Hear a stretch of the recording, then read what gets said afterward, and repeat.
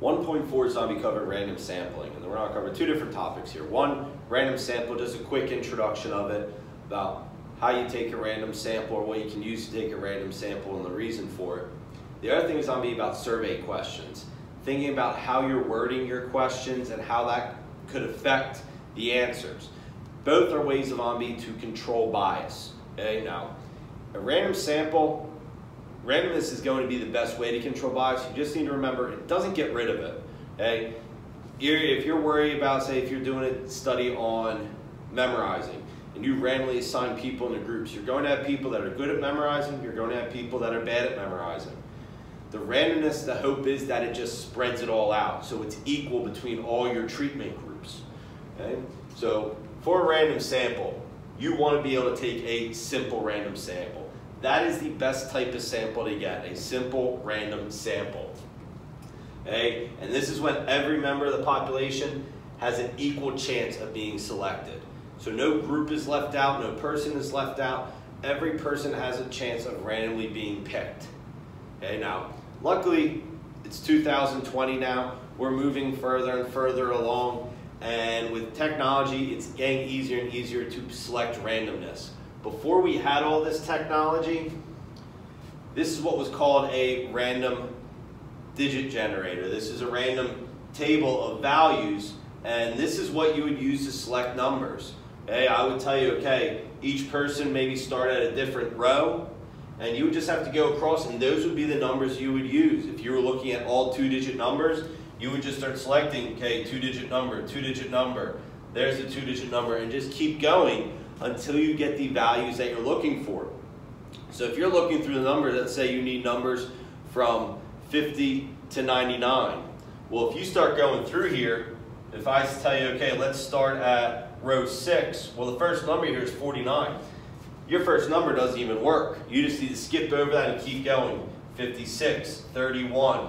Luckily, and hopefully maybe, this might be the last time you ever have to look at a random number table okay? Because now we have those beautiful calculators. We can use those calculators to call up random numbers. We can tell the exact range of numbers that we want to look at, and we can use that technology to call up the integers that we're looking for.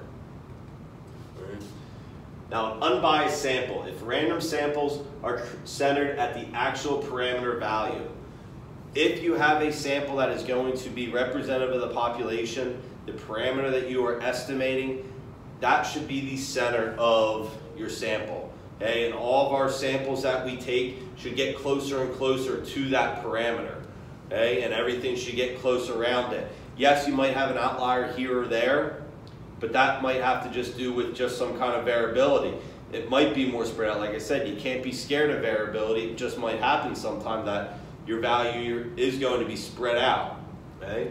So unbiased means that your sample is going to start getting close to the parameter that we're estimating. Sampling variability is talking about the difference from sample to sample.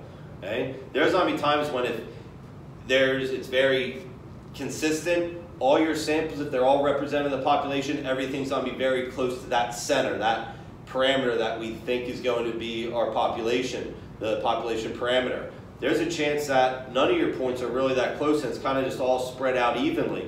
It's not very consistent. Again, it's not a bad or good thing as long as every sample represents the population. Okay, when we start getting samples that don't represent the population, and that might be what this is showing, it's something you would have to look into if you're running your study, but I can't guarantee anything. It's not a bad or good thing, it's just something that happens.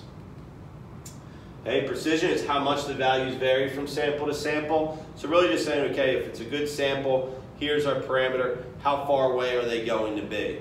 Okay, it's kind of just a way of measuring the variability a little bit. And that's not be related to sample size. If you're taking a good sample, the larger samples are going to get closer and closer to your parameter. Okay, so as long, and again, the most important thing, your sample must be representative of your population. Okay, larger samples equal more accurate estimate of the parameter. Okay, so larger samples are going to be a little more accurate. Okay, but I would say having a representative population, having a sample that represents your population, does trump having an extremely large sample. Okay? Survey questions. So this is the second part. survey can be a useful method of collecting data. Surveys going out, asking people questions. You're not really uh, giving them a treatment. You're just going to be asking them questions and getting their opinion on them.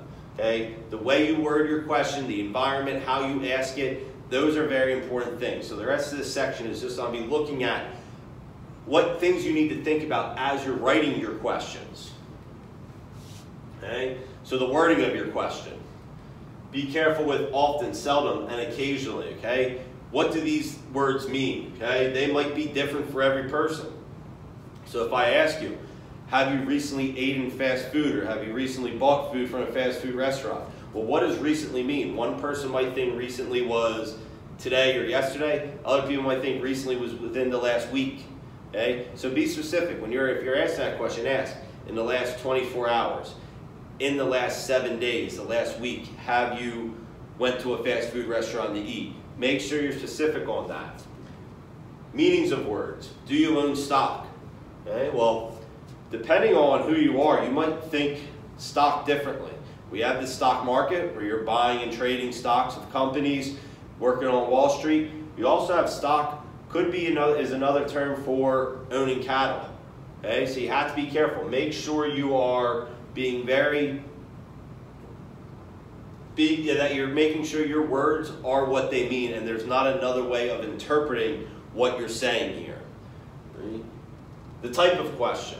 Okay? Make sure your data that you're going to be collecting is going to be useful. Okay? The type of question can help that. Remember, you're not want to take this data and either put it as a display, as a graph. You're going to want to look at it and analyze uh, the distribution of it. So think about the open or ended question. So here's the same question. How do you feel about broccoli? And how do you feel about broccoli? A, B, C, and D. So we have the open-ended question, which how do you feel about broccoli? That might start asking people about, people might start talking about if it's healthy or not for you. People might start talking about the taste. People might start talking about the look, how to cook it. So how do you feel about broccoli? That's to open you up to a whole range of answers. Okay? If you at least give them small choices here, A, B, C, or D. I know it's not, they're pretty vague. Look at like it very much, like it somewhat, dislike it somewhat, dislike it very much. You might not exactly know why, but at least you know, okay, the group of people that I surveyed here, they like broccoli a whole lot. Let's find out why. Then you can go dig in a little deeper, okay? But this is on narrow down their choices, so it's going to be a little easier for you to analyze the answers that you get. Loaded questions, okay? Watch how you are going to be asking your questions. Do you support stem cell research? Okay, this at times can be a hot topic. Okay, people, some people are very, very much against it. Okay, they see it as just kind of playing with nature a little bit. So people would look at this question, and some people would say no without even thinking about it. No, I'm against it. I don't want people to do it at all. Okay. Now, if I took this basically the same question but I add on to it. Do you support stem cell research that cures Alzheimer's disease? Okay? That would be considered a loaded question. Okay, you're still asking, do you support stem cell research? But now with this, to cure Alzheimer's disease, you're kind of steering them in the direction that you want. For you to say no to this question, it kind of makes it almost sound like that you don't care about Alzheimer's disease. It, that's a disease, I mean, it affects a whole family when someone does get diagnosed with Alzheimer's and has to go through that. Some people might have to change their answer with this. This would be considered a loaded question. Adding a little bit onto it to make people answer the way you want them to answer. Do you think there should be an amendment to the Constitution prohibiting abortion or shouldn't there be such an amendment? Another question, do you believe there should be an amendment to the Constitution protecting the life of an unborn child or shouldn't there be such an amendment? Okay, so if you're looking at A and B here, which one do you think had more support for that amendment. Okay? Do you believe there should be an amendment to the Constitution prohibiting abortion? Do you believe there should be an amendment to the Constitution protecting the life of an unborn child? I would think to protecting the life of an unborn child, people are going to want that amendment. People are going to want to support children and the life of a child. Okay? Look at this. One question got 29%, the other got 50% uh, approval. B was the one who got 50% approval. Okay, B was the one that got a little higher, and it's just the wording in it there. It's the same question. It's asking about amendment. Okay? An amendment that's on a stop abortion. Okay? One says prohibiting abortion, the other one says life of an unborn child. The way you're wording it's kind of steering people in the direction you want it to be answered. Okay? Interviewer influence. Okay? Be careful of how you ask the question, be careful of who you are, be careful of the environment that you're in. Okay? Tone of voice, body language, gender, authority figures, they can all influence the answers. Okay? Police officer asks if you used any illegal drugs in the past year. Well, if a police officer, full uniform, is asking a random person that question, that random person might answer that question a little differently than if just a college student's going up there. Might be for the same study, but the interviewer is going to probably have some kind of effect on how the people answer that question. I would say if a police officer is asking, you're not probably stay away from saying yes a little more. Okay? After a poor meal at a restaurant, the head of the chef, the head chef comes out and asks how you enjoyed the meal.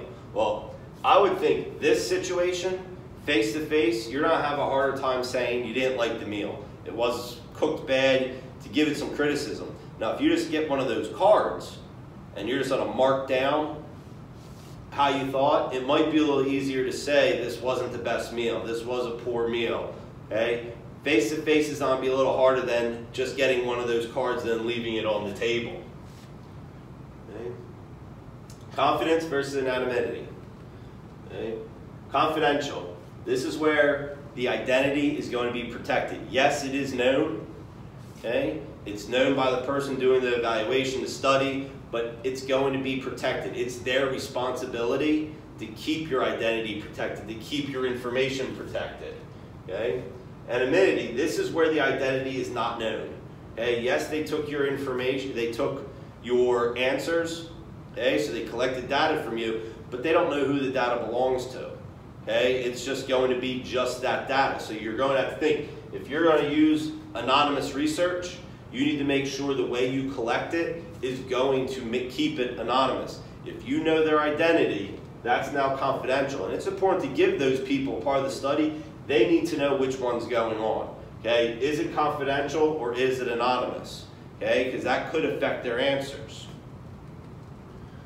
Okay, the teacher asks the class to put their heads down and answer questions by raising their hands without looking. Okay, so this is what I have done a lot, having kids put their heads down. I know who they are, I know who's answering that question, I know how they answer that question, but I'm going to keep that safe. I'm not going to let people know, okay, whoever answered this question to vote for the test today rather than tomorrow, I'm not letting the rest of the class know that. It's my responsibility to keep that child, their identity protected. Yeah, you're taking part of a taste test on which you like better, Coke or Pepsi. You are then given a small sample of each drink. As you leave, you are handed a sheet of paper and you record which you like better. You put your paper in a box that is locked until after the study. Well, this one here, they're just gonna have that box, they're gonna have all the answers. Bunch of slips of paper that say Coke or Pepsi, which one they like better. There's real no way of them knowing who put which paper in there. Okay, so as long as they don't know that, that's gonna be, you're anonymous. You don't know, they don't know. So everything's safe. And that's probably usually, anonymous is usually a little safer one. Okay, that's gonna be the one where you don't have to worry about them spreading your information. Okay, so make sure you can know the difference between anonymous and confidential. Okay, think about how your questions are worded for surveys, loaded questions, the environment that you're asking the questions in, giving the survey in, the person asking the questions. And remember, randomness controls bias. It does not get rid of bias, but it controls it. It spreads it out throughout all your treatment groups, throughout your whole study, so it's going to be as equal as possible. Okay, so that's it for 1.4.